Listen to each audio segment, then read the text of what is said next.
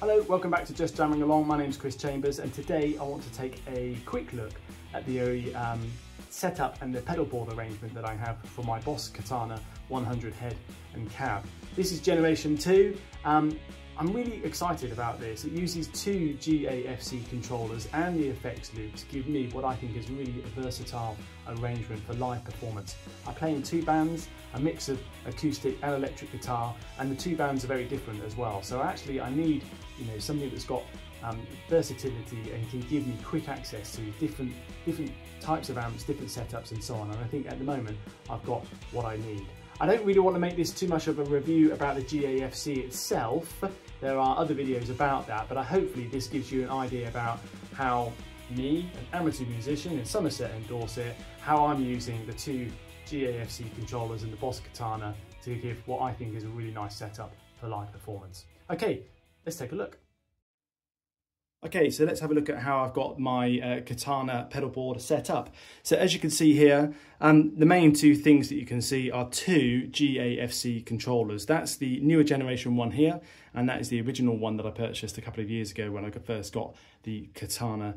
Up here, I've got two pedals which are in the effects loop. So I've got a clean boost for, and obviously as the name suggests, an overall boost regardless of whatever preset I'm in. I've got a volume boost there if I need it. And then also a, um, a tuner.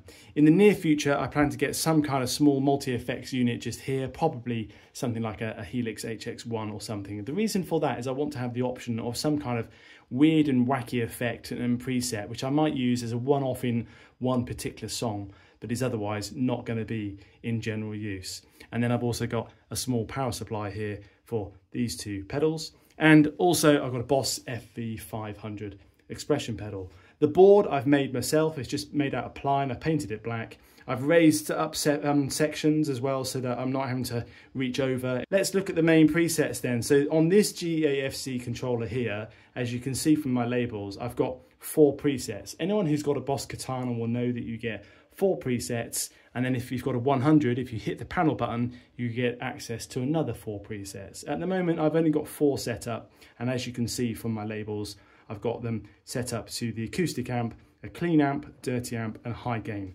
amp. I've got fairly similar um, EQ settings on all of those. And this is where the real versatility comes in. I can be playing acoustic guitar on one song, unplug the, the guitar, um, go plug in an electric guitar, go to my clean channel, and I'm away straight away with all the presets that I need. Okay, so that's that's the main kind of, if you like, the arrangement that I've got for the um, for that controller there. Down to this controller here, this is now set up as my, a conventional kind of stomp box. And as the label suggests, I've got a booster, I've got a modulation effect, I've got some other effect, delay and reverb. The way I've got it set up, my preference is to have a bit of reverb as a default on everything. And then I can hit delay, effects,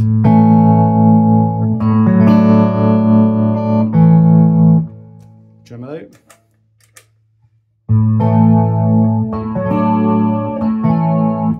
Chorus as it happens, and booster.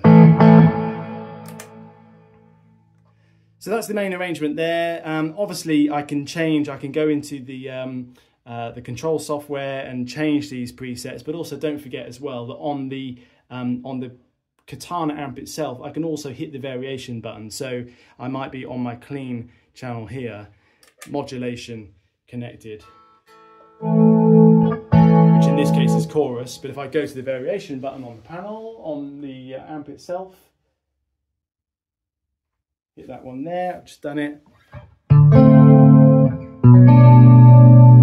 we've got a deeper effect there. I can hit it again for another variation. And I've got a choppy tremolo there. Personally, I don't really want to have to go to the panel that frequently during um, a gig. I want everything easily accessible from here. So at the moment, I've got the most common effects here for clean. And obviously I've got this whole same arrangement again, different types of effects. On my dirty, I think I've got a, a fuzz setup, an auto wah and those sorts of things. And then uh, high gain, again, different types of effects. I don't really want to give a, a, review of the effects that the Katana's got. I just really want to give an overview of how I've got this configured. I've also with the FV500, for example, I've got one particular song where I've got the uh, the pedal set up as a